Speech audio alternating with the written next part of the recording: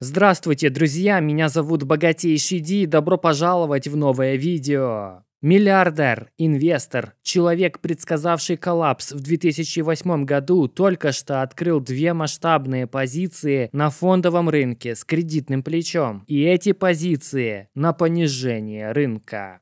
Ставка на понижение рынка жилой недвижимости? Да. Простите, доктор Бьюри, это неразумное Но вложение. все ошибаются. Что? Смешно. Это означает, что 93% портфеля Майкла Бьюри в настоящее время составляют короткие позиции на рыночных индексах. В последний раз он делал подобную крупную ставку в своем знаменитом прогнозе глобального финансового кризиса в 2008 году. Если ты не в курсе, Майкл Бьюри – известный инвестор, чей авторитет в основном обусловлен известным прогнозом о крахе жилья и недвижимости в США в 2008. Он ставил на падение рыночных ипотечных облигаций, потому что был уверен, что в конце концов рынок лопнет. Только эта одна сделка принесла Майклу 100 миллионов долларов, а инвесторам его хедж-фонда 700 миллионов долларов. Вы же должны были быть уверенными в своем прогнозе, не так ли? У нас была сделана огромная ставка на падение, и я был абсолютно уверен в исходе. И это не шутка, друзья. Знаменитый пророк 2008 года только что зашортил рынок на 1,6 миллиарда долларов.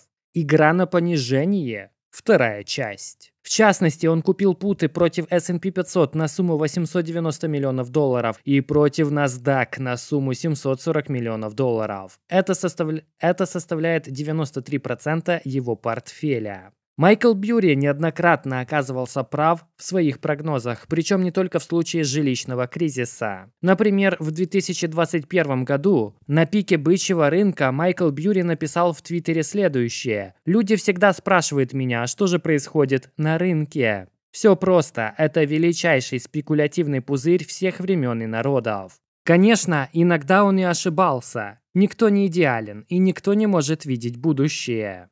Еще в конце прошлого года он написал в Твиттере. В начале 2002 инвесторы спрашивали меня, почему я не покупаю лопнувший дотком. Похоже, надо было. После того, как лопнул пузырь доткомов, люди спрашивали Майкла, «Эй, а почему бы не купить эти интернет-акции?» Майкл сказал, что рынку есть еще куда падать. И, конечно, в 2023 году об этом легко говорить, когда мы видим прошлое. Но мы видим на графике, что рынки с тех пор только и делают, что растут. Особенно топ-7 технокомпаний вместе взятых. Майкл Бьюри впоследствии отказался от своих слов и сказал, я был неправ, когда говорил, что нужно продавать. Но сегодня это не просто слова. Он действительно подкрепил их своими же деньгами и шортит рынок на сумму гораздо большую, чем ту, которую он заработал на крахе ипотеки в 2008. Мы заработали гораздо больше, чем я мог себе представить. Ваши клиенты были благодарны? Я думаю, что многие клиенты были просто рады, что это наконец закончилось. Даже при том, что они удвоили свои деньги? Ну, мы заработали 725 миллионов долларов, я думаю. И если ты инвестируешь в рынке, в криптовалютный рынок, в фондовый рынок, то возникает вопрос, а что же дальше? В 2008 году у Майкла была поразительная интуиция. Он сказал, что рынок жилья вот-вот рухнет, однако это заняло гораздо больше времени, чем он ожидал. Вопрос, на какой срок он купил эти пут-опционы? Когда истекает их срок? Каковы сроки выполнения этого прогноза? Неясно, как обстоят дела с последними опционными ставками Бьюри, учитывая, что нормативные документы не требуют раскрытия ни цены покупки, ни срока действия опционов. То есть мы точно не знаем, когда истекает срок этих опционов. Кроме того, неясно, были ли эти короткие позиции частью более крупной сделки, которая включает в себя и другие контракты, которые тоже могли быть вложены в шорт-позиции. Фонд Майкла Бьюри Sign Asset Management также не ответил на эти вопросы. А всю информацию мы узнали из ежеквартального отчета 13FS. Этот отчет показывает позиции Майкла на конец последнего квартала и могут не отражать текущие позиции. Так что мы можем отталкиваться только от этих документов, которые являются одним из немногих способов, с помощью которых розничные инвесторы могут увидеть позиции институциональных инвесторов, таких как хедж-фонды, например, хедж-фонд Майкла Бьюри. Опять же, большинство каналов просто дадут вам хайп и шок, но я хочу предоставить как можно больше полезной информации. Посмотри на это. Во многих заголовках говорится о том, что Майкл Бьюри только что купил путы S&P 500 и NASDAQ на 1,6 миллиарда долларов. Однако это заявление вводит в заблуждение, поскольку реальная стоимость купленных им путов намного ниже. Отчет сообщает о номинальной стоимости путов, а не о сумме, которую Майкл за них заплатил. Это распространенное заблуждение сообщается именно номинальная стоимость, то есть количество опционных контрактов, умноженных на 100 и умноженных на стоимость базовой ценной бумаги. Учитывая, что каждая позиция – это по 2 миллиона акций, можно предположить, что было куплено 40 тысяч контрактов. Номинальная стоимость этих 40 тысяч путов составляет 1,6 миллиарда долларов. Но на самом деле Майкл Бьюри потратил на них гораздо меньше денег. Он не сообщил цену, уплаченную за контракт, но сказал, что мы берем оферты от 17 ноября 2023 года для S&P 500 и NASDAQ.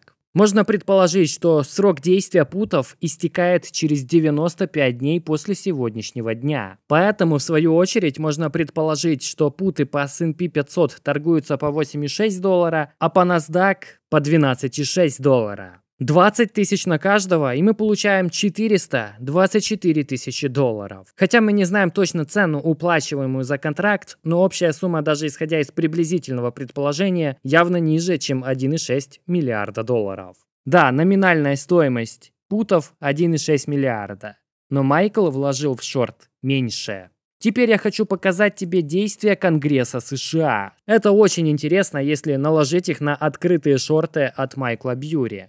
Мы располагаем этой информацией благодаря тому, что торговля акциями ведется по новым законам США, которые требуют от сенаторов и представителей США публично представлять и раскрывать любую финансовую операцию в течение 45 дней с момента ее совершения. То есть мы можем увидеть, что делают политики США с задержкой в 45 дней. И судя по их действиям, Политики, похоже, становятся медведями. Вот сумма их сделок за последние 90 дней. 12,5 миллионов долларов покупок и 23 миллиона долларов продаж. Что почти вдвое больше. Два политика при этом активно шортят рынок.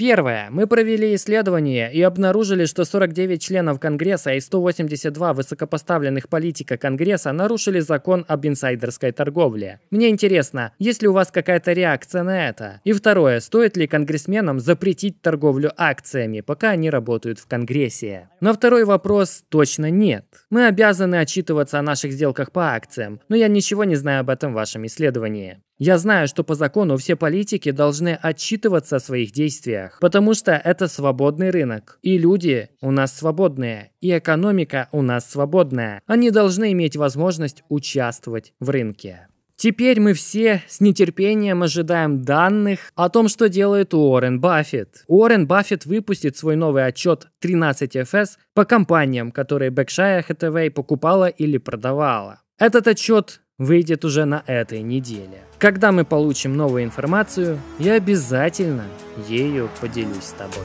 Поэтому подписывайся на канал, ставь лайк и увидимся с тобой совсем скоро в новых видео. Пока!